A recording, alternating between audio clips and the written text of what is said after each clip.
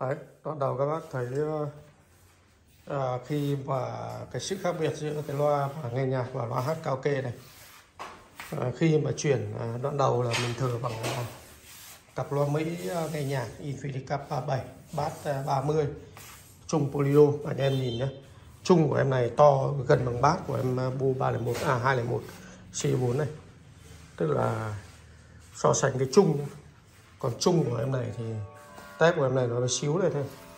Nhưng mà anh em có thể thấy là cái tính chung của cái Bu 301 à 201 C4 này nó nó bật lên hẳn.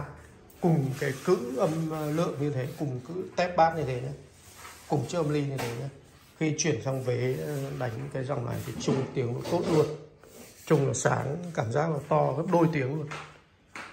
Đây là cái sự khác biệt giữa cái ờ, cái, cái loa hát và loa nghe nhạc. Đây là em ờ, 201 ờ, C4 của Bo Mexico màu vân nâu zin hàng về trong tình trạng rất là đẹp. Cái này các bác bộ trợ lời hát karaoke.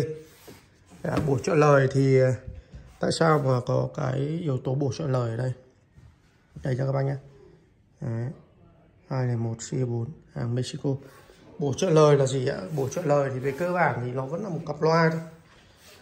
Nó sẽ khác, cái là khi những cái bổ trợ lời thì thường là ờ, nó ăn dòng nó không quá lớn, cho nên là mình có thể đấu song song luôn được.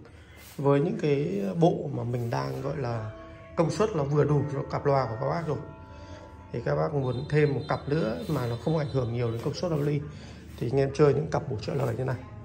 Đấy nó khác với những cái dòng loa to.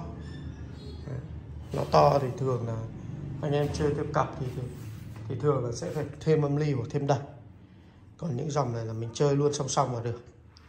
Đấy. loa rất là đẹp nhé. Thậm chí là gân cả vài còn zin nữa gân nó gân vải lụa. Căng này rất là đẹp. 201 C4 đàn em của 301 C4 về hình thức thì nó như nhau nó chỉ có bé đi được còn nó làm thiết kế nó rất là giống. Rất là giống luôn nha các bác nhé Đấy. thứ nhất là cái đường kính bát bé đi. Cái thứ hai là nó sẽ bớt một loa so với 301 C4 301 c bốn. Sẽ có ba loa. Còn em này thì có hai loa thôi. Cũng lỗ thở bên hông. Đấy, thằng 301 C4 nó sẽ có một cái loa tép trên này và nó có một cái căng đậy ở bên má này nữa. Cặp loa rất là đẹp nhé anh em quan tâm đến hệ shop nha cảm ơn các bạn